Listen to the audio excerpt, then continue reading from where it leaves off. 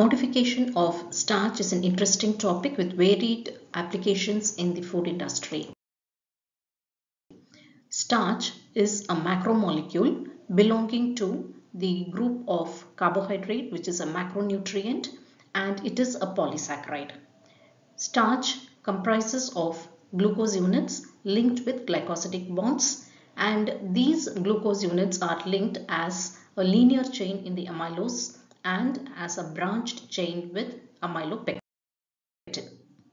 Looking at the starch which needs to be modified, let's understand why starch has to be modified and how it differs from the native starch. Native starch or the original as such referred to as a starch are basically pure forms of starch molecules.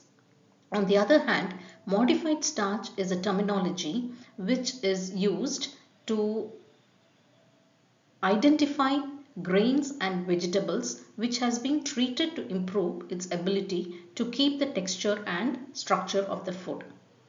Hence, modified starch does not mean that it has been genetically modified or produced from genetically modified organisms.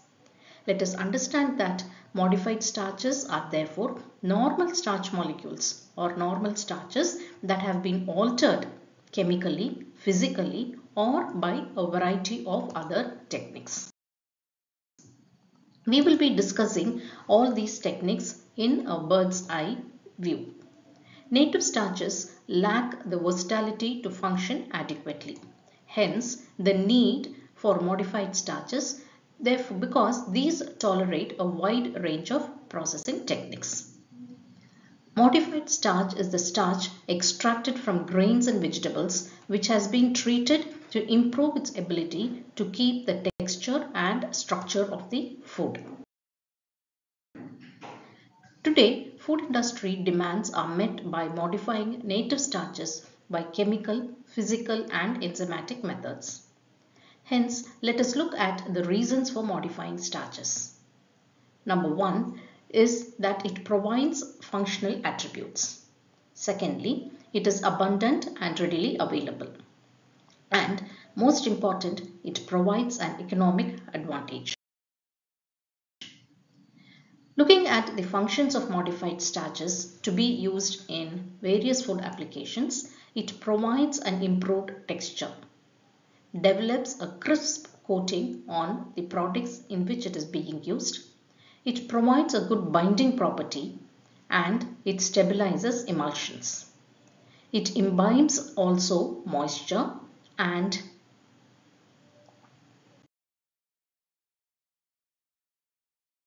This is a simple processing technique for preparing modified starch from native starch. Raw materials could be starchy uh, roots and vegetables or corn which can be the basic raw materials. These are steeped in water. They are subjected to a milling process and a slurry of the starches obtained. Obtained is subjected to a drying process which is then packed. Alternatively, a pre-gelatinization process also allows the drying process and it is packed to obtain the modified starch. Now this figure shows the chemical, physical and enzymatic methods used commonly for modification of starches. The chemical process involves degradation, substitution and cross-linking. The physical method of modifying starches involves pre-gelatinization after which it is dried and an enzymatic using enzymes, specific enzymes for the degradation of starch. Now before we go into the detailed techniques, let's look at the foods containing modified food starch. Commonly chips, canned soups, instant pudding, low-fat ice cream, sauces, powder coated foods such as cocoa dusted almonds and candies. So you can see that there is a varied type of applications or foods which uses modified starch for performing an optimal functional attribute. The first technique for modification of starch is by, is by physical means in order to change the granular structure of the starch molecules as well as to convert native starch into crystalline starch.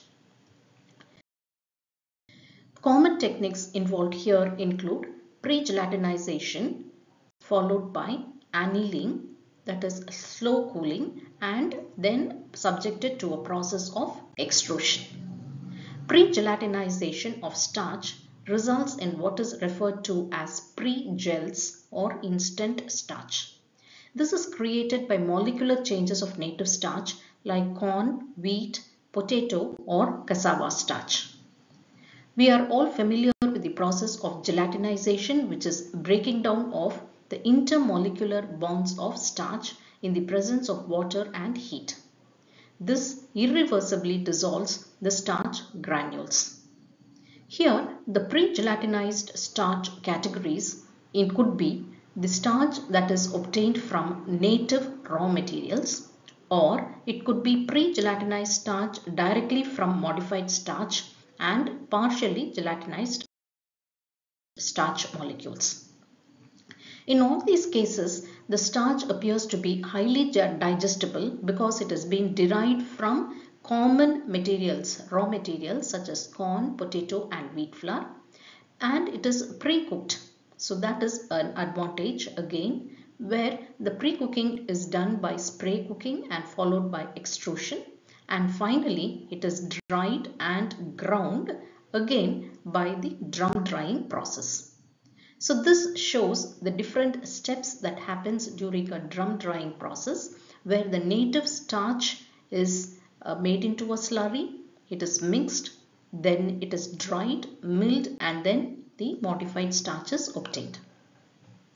As mentioned earlier, modification of starch could be because of physical modification, chemical modification and enzymatic modification. So physical we have seen about the moisture that is the heat involved and ultra high pressure. Chemical modification where covalent linkages and cross-linking process could happen and enzymatic as mentioned using starch modifying enzymes. The ultimate reason or the uh, need for modification of starch hence as shown is the novelty and the functionality of the starch molecules. Looking at the chemical modification techniques, there are two common methods, conversion and derivatization.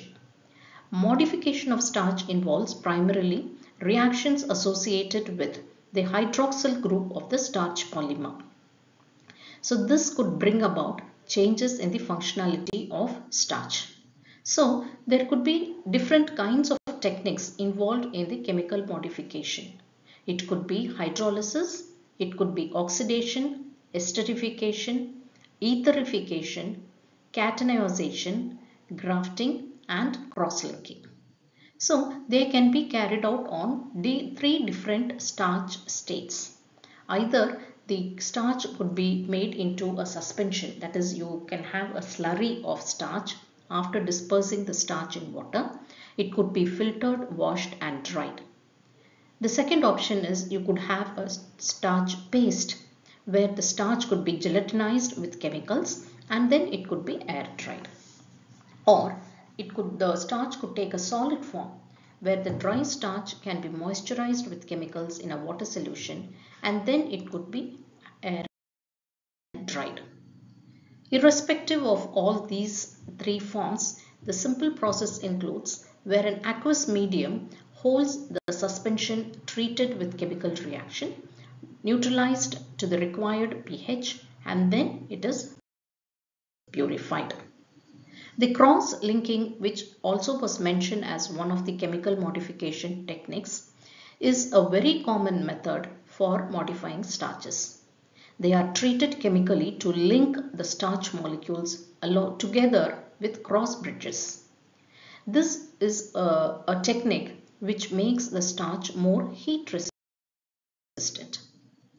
So the chemicals commonly used are phosphorus oxychloride at a temperature of 25 to 55 degrees centigrade at a reaction time of 30 minutes to 24 hours. This is a reaction indicating the structure of the phosphorus oxychloride cross-linking of starch.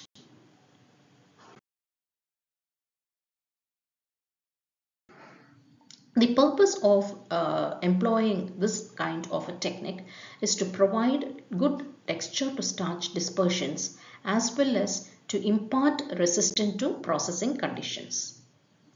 The next uh, technique is stabilization or also mentioned as substitution. Here there is a reassociation of the amylose units uh, leading to a process of a retrogradation and it could also minimize retrogradation by using the stabilization technique.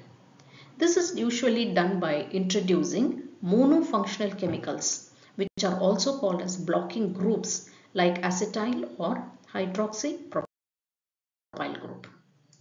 So here we see that the applications involved is that there is any texture improvement, you get a stable paste as well as it improves the shelf life of the product. Uh, there is another method which is referred to as a conversion. Conversion methods are usually uh, acid hydrolysis techniques, oxidation processes, pyroconversion and enzyme conversion.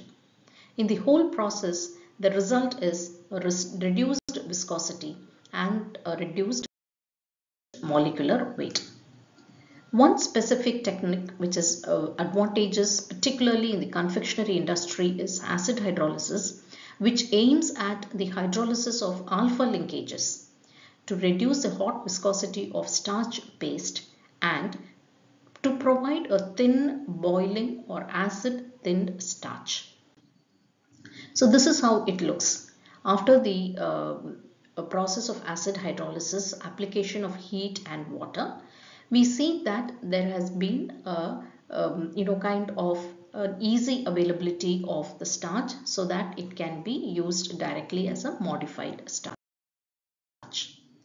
The simple process involves acid reacting with a starch slurry followed by hydrolysis and neutralization of acid uh, then there is a conversion of the starch granules which are recovered by filtration, washed and oxidation is another technique wherein sodium hypochlorite as a source of chlorine is used to produce a low viscosity starch powder to be used in batters and for coating applications. Bleaching is done in order to improve the whiteness of the starch powder, to improve the appearance of starch powder by oxidation of impurities as well as use of bleaching agents like hydrogen peroxide and potassium permanganate. So we say therefore that the native starches are modified by various techniques like the physical methods, enzymatic methods and chemical methods to provide respectively the different modified starches to produce other kinds of convenience foods. Pyroconversion or dextrinization is the next process in which uh, pyrodextrins are formed due to the heating of the dry and acidified starch. In this process, new glycosidic bonds are created um, and as in dextrinization, we have these used as fat replacers in bakery and dairy products. As I mentioned earlier, the end product is pyrodextrins. Finally, we have the starch modification by enzymes where starch paste is treated with enzymes like amylase. Beta amylase removes maltose to produce dextrose. Amylase, which targets the alpha-1,4 linkages, produces glucoamylase, removing the glucose units to produce sugars and the debranching enzyme targeting alpha-1,6 linkages converts starch to maltodextrins and corn syrups. Thank you.